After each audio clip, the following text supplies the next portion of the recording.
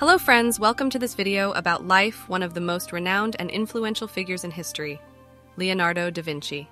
Leonardo da Vinci was born on April 15, 1452, at the third hour of the night in the Tuscan hill town of Vinci, in the lower valley of the Arno River in the territory of Florence.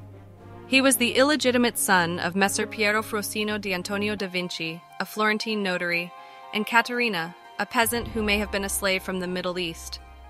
We don't know much about Leonardo's early life, but we do know that he spent his first five years in the hamlet of Anchiano, and then lived in the household of his father, grandparents, and uncle Francesco in the small town of Vinci. His father had married a girl named Albiera, who sadly died young, but who loved Leonardo dearly. As a child, he experienced a couple of notable incidents that he later recorded. One involved a kite dropping from the sky and hovering over his cradle, its tail feathers brushing his face, which he considered an omen. The other occurred when he discovered a cave while exploring the mountains and was both terrified that some monster might lurk inside and driven by curiosity to discover what was within. There's been a lot of speculation about Leonardo's early life. For instance, Vasari, a biographer of Renaissance painters from the 16th century, tells a story about a local peasant who asked Ser Piero, Leonardo's father, to have his talented son paint a picture on a round plaque. Leonardo responded with a painting of snakes spitting fire that was so terrifying that Ser Piero sold it to a Florentine art dealer, who then sold it to the Duke of Milan. Ser Piero used the profit to buy a plaque decorated with a heart pierced by an arrow, which he gave to the peasant. When Leonardo was just 14 years old, he began an apprenticeship with one of the most successful artists of his time, Andrea di Cione, who was also known as Verrocchio. Verrocchio's workshop was located in the heart of Florence and was a hub of intellectual activity, which meant that Leonardo had the opportunity to learn not just artistic skills like drawing, painting, sculpting, and modeling, but also technical skills like drafting, chemistry, metallurgy, metalworking, plaster casting, leatherworking, mechanics, and carpentry. Other famous painters who apprenticed or worked in the workshop include Ghirlandaio, Perugino, Botticelli, and Lorenzo di Credi. According to Vasari, Leonardo collaborated with Verrocchio on his Baptism of Christ, and his painting of the young angel holding Jesus' robe was so superior to Verrocchio's work that Verrocchio put down his brush and never painted again. While this may be an exaggeration, it's clear that Leonardo was a talented artist who contributed significantly to the production of Verrocchio's workshop. In fact, some of Verrocchio's works, such as the bronze statue of David in the Bargello and the Archangel Michael in Tobias and the Angel, may have been modeled after Leonardo himself. By the time Leonardo was 20, he had qualified as a master in the Guild of St. Luke, which was the guild of artists and doctors of medicine. However, even after his father set him up in his own workshop, Leonardo continued to collaborate with Verrocchio because of his strong attachment to his former teacher. Leonardo's earliest known dated work is a drawing in pen and ink of the Arno Valley, which he drew on August 5, 1473. In 1476, Court records show that Leonardo and three other young men were charged with sodomy, but were eventually acquitted. After that, there's no record of his work or whereabouts until 1478, but it's believed that he had his own workshop in Florence between 1476 and 1481. During this time, he was commissioned to paint an altarpiece for the Chapel of St. Bernard and the Adoration of the Magi for the monks of San Donato a Scopeto in 1481. In 1482, Leonardo helped bring peace between Lorenzo de' Medici and Ludovico il Moro, Duke of Milan. He wrote a letter to Ludovico describing his engineering and painting skills and even created a silver lyre in the shape of a horse's head, which he brought to Milan. Between 1482 and 1499, Leonardo continued to work in Milan, where he was commissioned to paint the Virgin of the Rocks for the Confraternity of the Immaculate Conception and the Last Supper for the monastery of Santa Maria del Grazie. During this time, he listed a woman named Caterina among his dependents in his taxation documents, and when she passed away in 1495, her funeral expenditure list suggests that she may have been his mother.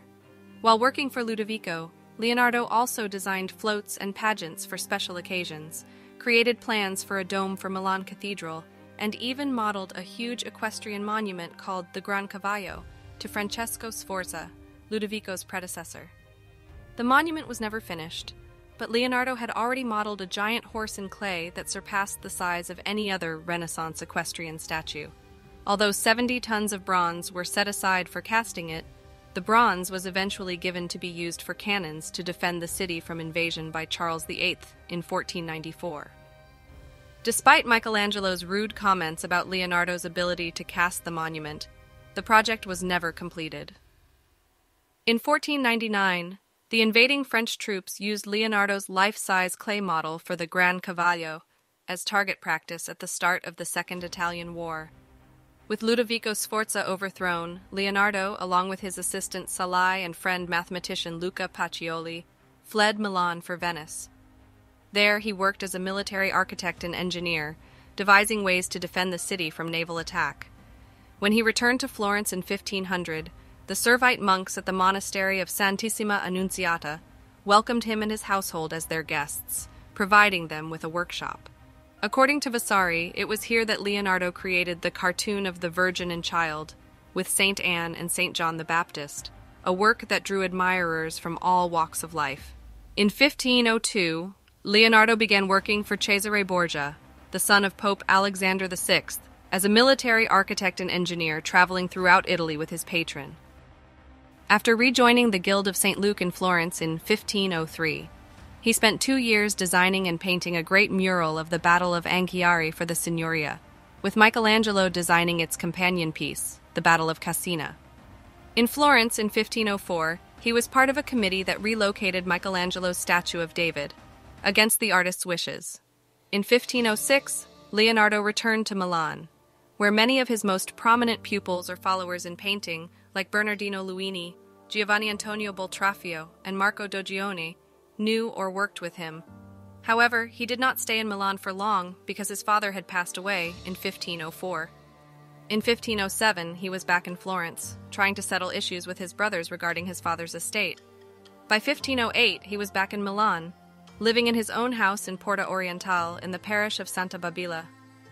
Between 1513 and 1516, Leonardo spent much of his time living in the Belvedere in the Vatican in Rome, where both Raphael and Michelangelo were active at the time. In 1515, Francois I of France recaptured Milan, and in December of that year, Leonardo was present at the meeting between Francois I and Pope Leo VI in Bologna. It was Francois I who commissioned Leonardo to create a mechanical lion that could walk forward and open its chest to reveal a cluster of lilies. In 1516, Leonardo entered Francois V's service and was given the use of the manor house Clos Luce near the king's residence at the Royal Chateau Amboise. This is where he spent the last three years of his life, accompanied by his friend and apprentice, Count Francesco Melzi, supported by a pension totaling 10,000 scudi. Leonardo passed away on May 2, 1519, at Clos in France, with Francois becoming a close friend. Vasari records that the king held Leonardo's head in his arms as he died, although this story may be more legend than fact. Vasari also tells us that in his last days, Leonardo sent for a priest to make his confession and receive the Holy Sacrament. Following his will, 60 beggars followed his casket, and he was buried in the chapel of Saint Hubert in the castle of Amboise. Melzi was the principal heir and executor and received Leonardo's paintings, tools, library, and personal effects. Leonardo also remembered his other longtime pupil and companion, Salai, and his servant, Battista di Vilusis, who each received half of Leonardo's vineyards, his brothers who received land, and his serving woman who received a black cloak of good stuff with a fur edge. Some 20 years after Leonardo's death, Francois was reported by the goldsmith and sculptor Benvenuto Cellini as saying, There had never been another man born in the world who knew as much as Leonardo, not so much about painting, sculpture, and architecture, as that he was a very great philosopher. Thank you, friends, for watching this video. I hope you enjoy. Don't forget like the video and subscribe our channel.